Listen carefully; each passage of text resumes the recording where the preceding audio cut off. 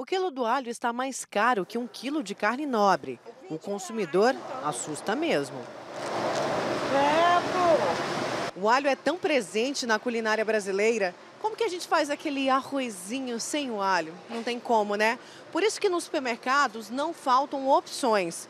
Tem o alho desidratado, que é mais barato, sai um pacote desse, R$ reais.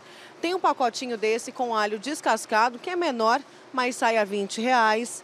Tem aqui essa embalagem que só vem os dentes do alho, R$ reais e o quilo do alho. Segundo o gerente desse estabelecimento, os consumidores não estão deixando de comprar o alho. O que está acontecendo diante desse aumento é que eles estão levando menos para casa. O consumo ele tem sido moderado, ele não tem, não tem tido escassez, não tem faltado, mas também o, o, o cliente tem buscado talvez menos um pouco do que é de costume, mas não deixou de consumir.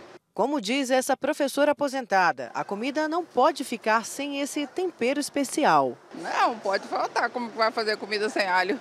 Esse aumento é atribuído à entre-safra da produção nacional e à necessidade de recorrer a importações para manter as prateleiras abastecidas. Normalmente, quando a gente está nesse período de entre-safra, os preços tendem a subir mesmo, é normal.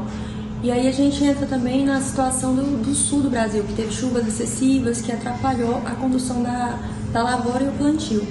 E quando a gente fala também que a gente está importando, principalmente da Argentina, os preços tendem a subir. Mas calma, que tem boa notícia. O mercado começa a estabilizar e o preço do alho tende a cair nas próximas semanas. Com o retorno da safra nacional, sobretudo do estado de Goiás e de Minas, o mercado está estabilizando. Hoje uma caixa já está em torno de 230, ou seja, 100 reais a menos do que há 30 dias atrás.